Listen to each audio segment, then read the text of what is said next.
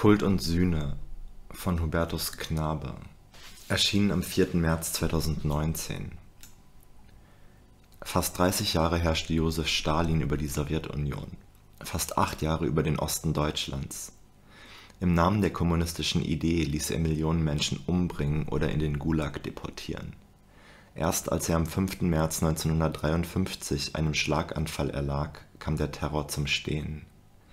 Woran liegt es, dass Stalins Verbrechen in Deutschland so wenig präsent sind? Ein Rückblick zum 66. Todestag des Diktators Teil 1 Für die kommunistische Welt war es, als hätte die Sonne zu scheinen aufgehört als der Generalsekretär der Kommunistischen Partei der Sowjetunion (KPdSU) Josef Stalin am 5. März 1953 starb, überbot sich die DDR-Propaganda mit Superlativen. Zitat: „ Das Herz des größten Menschen unserer Epoche, das Genossen Stalin hat aufgehört zu schlagen Zitat Ende, titelte das Zentralorgan der SED Neues Deutschland. Zitat: „ Mit Josef Wissarionowitsch Stalin ist der große Wissenschaftler des Marxismus-Leninismus, der weise Führer der Werktätigen im Kampfe um den Sozialismus, der geniale Feldherr des großen Vaterländischen Krieges des Sowjetvolkes, der überragende Kämpfer für die Erhaltung und Festigung des Friedens in der Welt dahingegangen. Zitat Ende, schrieb die SED in ihrem Beileidstelegramm. Acht Jahre hatte Stalin mit eiserner Hand über den Osten Deutschlands geherrscht Nie wieder wurden in der 40-jährigen Geschichte des Sozialismus in der DDR so viele Menschen inhaftiert, nie wieder so viele zum Tode verurteilt und hingerichtet. Schätzungsweise 1,9 Millionen Menschen flüchteten bis 1953 in den Westen. Und dennoch wurde der Mann, der dafür die Hauptverantwortung trug, in Ostdeutschland lange Zeit wie ein Heiliger verehrt. Wie ist es zu erklären, dass die Verbrechen Stalins in Deutschland kaum bekannt sind dass nicht Lager und Tod, sondern Plastikautos und Ampelmännchen die Erinnerung an die DDR bestimmen. Vielleicht muss man, um diese Frage zu beantworten, aus den Tiefen des kollektiven Gedächtnisses zunächst die Erinnerung an die frühen Jahre der SED-Herrschaft wieder freilegen. Denn erst vor diesem Hintergrund wird deutlich, wie groß die gesellschaftliche Amnesie sein muss, dass eine ganze Epoche aus dem öffentlichen Diskurs nahezu vollständig verschwinden konnte.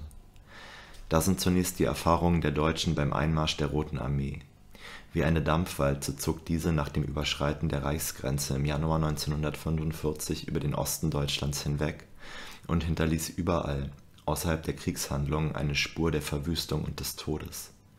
Zehntausende Menschen wurden damals willkürlich erschossen, die meisten Häuser verwüstet und geplündert, die Frauen und Mädchen zu Freiwild der Besatzer erklärt Wer in den Augenzeugenberichten dieser Zeit liest, ist immer noch entsetzt über das Ausmaß sinnloser, ja sadistischer Gewalt, die mit Rachegedanken einzelner Soldaten für den Vernichtungskrieg der Deutschen kaum hinreichend zu erklären ist. Dem Entsetzen über die Taten folgt bald die Scham über den Mangel an Empathie, die den Opfern dieser Verbrechen in Deutschland entgegengebracht wurde und wird.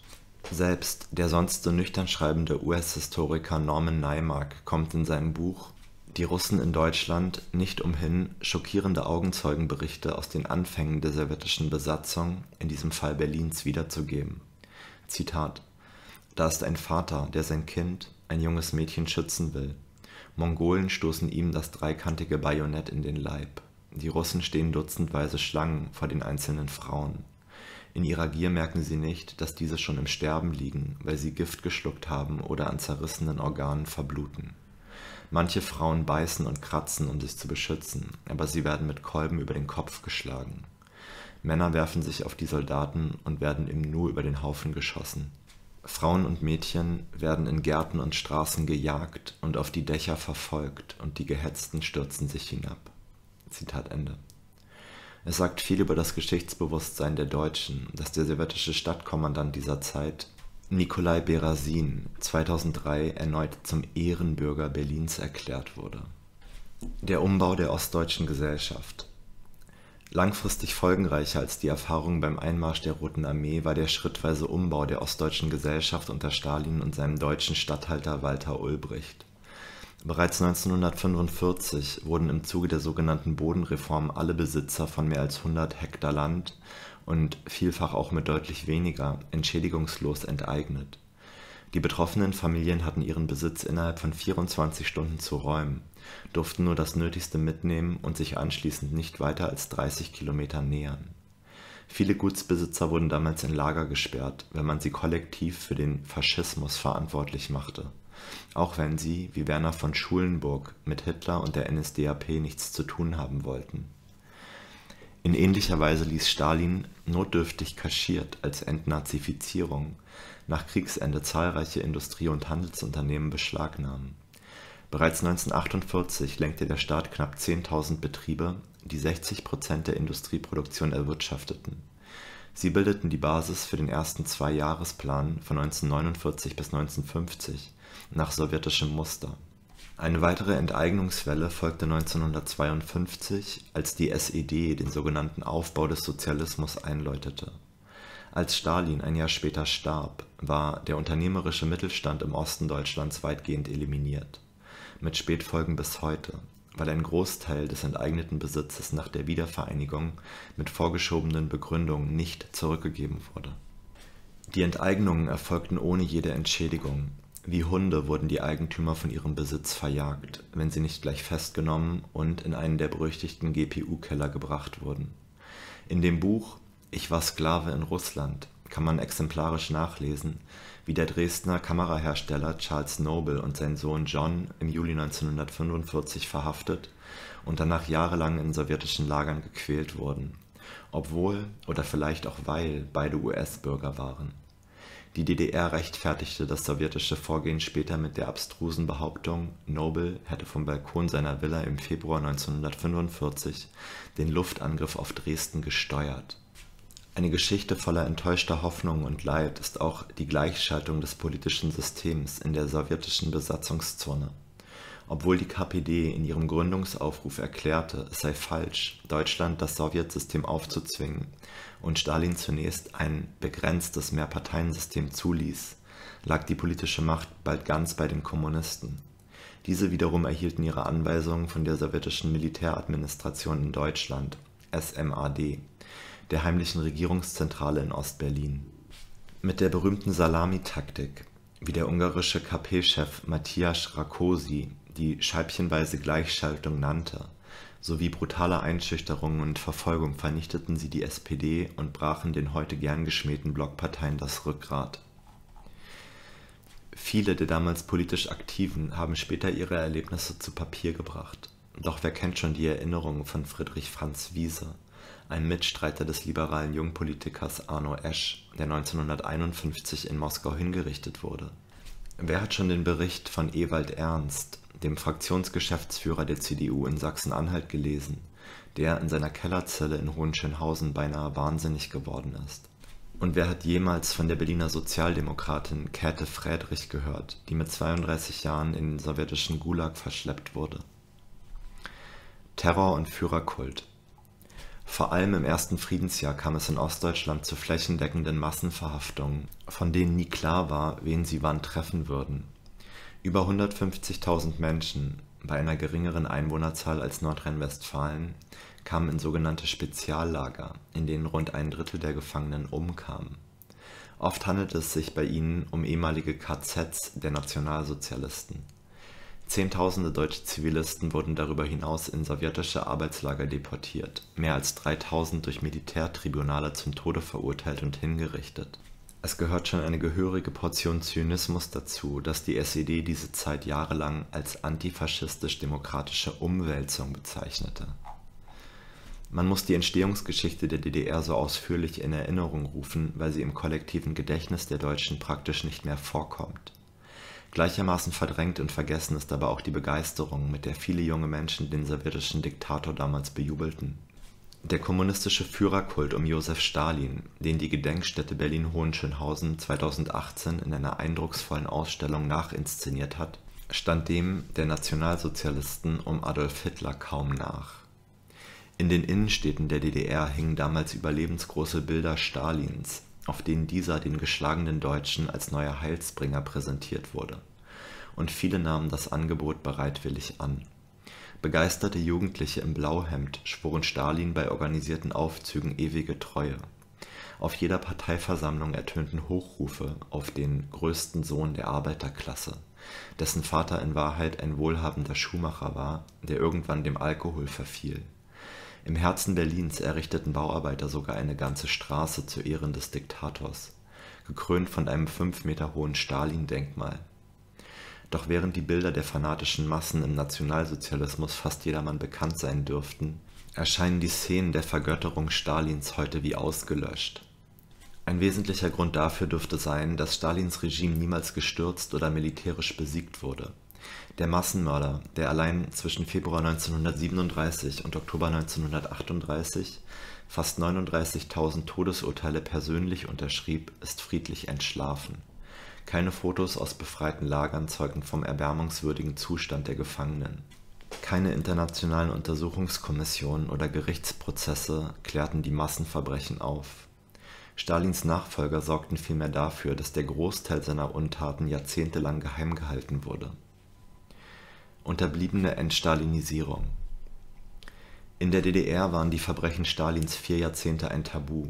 Die Überlebenden der sowjetischen Speziallager mussten bei ihrer Entlassung eine Schweigeerklärung unterschreiben Niemand durfte die Legenden der SED um die sogenannte Befreiung, die Bodenreform, die Enteignung oder den Aufstand am 17. Juni 1953 hinterfragen.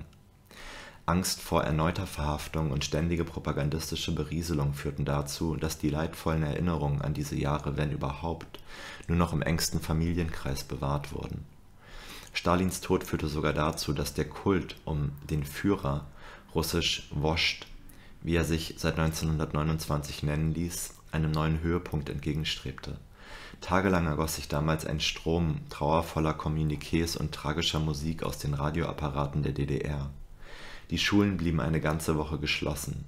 An den sogenannten Stalin-Ecken in Betrieben und Ministerien und im Berliner Stalin-Denkmal wurden salbungsvolle Trauerreden gehalten. Viele Teilnehmer waren so schockiert vom Ableben des Diktators, dass ihnen die Tränen kamen wie sehr die SED ihre Anhänger in eine Art kollektive Psychose versetzt hatte, zeigt exemplarisch das Gedicht Danksagung, das der Schriftsteller Johannes R. Becher kurz nach Stalins Tod niederschrieb. Ansonsten löste Stalins Tod zunächst überhaupt keine Veränderung in der DDR aus Während in der Sowjetunion bereits Ende März beschlossen wurde, fast die Hälfte der damals 2,5 Millionen Gulag-Häftlinge freizulassen, agierten das Politbüro der SED und insbesondere Walter Ulbricht weiter, als wäre nichts geschehen. Sie verschärften sogar noch den stalinistischen Kurs. Wie ihr verstorbenes Moskauer Vorbild witterten sie überall Agenten und Saboteure, die sie für die gravierenden wirtschaftlichen Probleme der DDR verantwortlich machten die neue sowjetische Führung war damals allerdings zu einer anderen Meinung über die Situation in der DDR gekommen. Sie sah dort nach acht Jahren stalinistischer Herrschaft eine massive Krise heraufziehen. Anfang Juni 1953 zitierte sie die SED-Spitze deshalb zu einer Geheimreise nach Moskau, wo Parteichef Walter Ulbricht und DDR-Ministerpräsident Otto Grote wohl vorgelesen bekamen, was sie alles ändern sollten die Verkündung des neuen Kurses am 11. Juni 1953 im Parteiorgan Neues Deutschland hätte der Beginn einer vorsichtigen Entstalinisierung sein können, wie sie sich auch in der Sowjetunion anbahnte. Sie löste jedoch eine unerwartete Dynamik aus, in der sich die Demütigungen der zurückliegenden Jahre plötzlich wie ein Gewitter entluden. So zogen am 16. Juni zunächst nur einige hundert Bauarbeiter der Großbaustelle an der Stalinallee zum DDR-Regierungssitz um gegen eine kurz zuvor beschlossene Erhöhung der Arbeitsnormen zu protestieren. Unterwegs schlossen sich ihnen jedoch tausende Passanten an und da weder Ulbricht noch Grote wohl mit ihnen sprechen wollten, riefen sie zum Generalstreik auf. Die von niemandem erwartete Folge war, dass am nächsten Tag überall in der DDR Hunderttausende auf die Straßen gingen.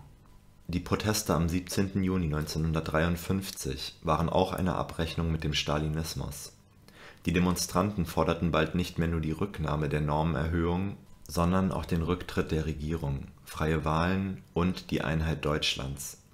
In vielen Städten rissen sie die großen Stalin-Bilder und die penetranten Losungen herunter.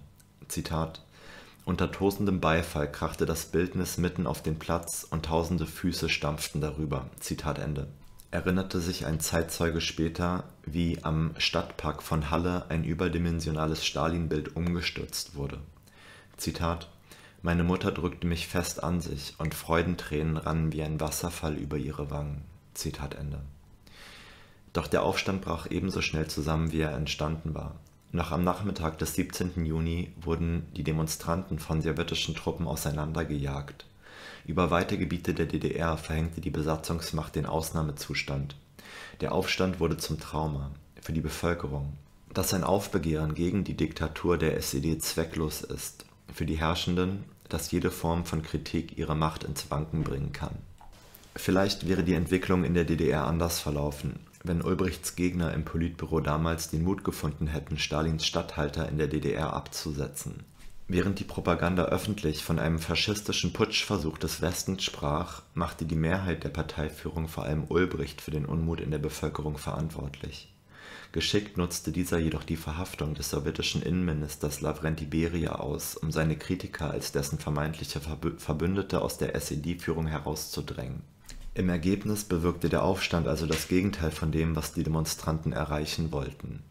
Ulbricht, der oberste deutsche Stalinist, blieb mit Rückendeckung Moskaus im Amt und sorgte in den darauffolgenden 18 Jahren als SED-Chef dafür, dass jede Kritik an Stalin unterblieb. Es wundert daher nicht, dass auch der Führerkult um Josef Stalin unvermindert weiterging. Vor allem dessen erster Todestag wurde mit Pomp begangen. Die DDR-Post gab eine Sonderbriefmarke heraus in Gera, Riesa und weiteren Städten wurden neue Stalin-Denkmäler errichtet. Und Das Neue Deutschland schrieb am 5. März 1954: Zitat: Einer der Großen der Menschheit schied von uns. Trauer senkte sich auf die Millionen und Abermillionen aller Länder.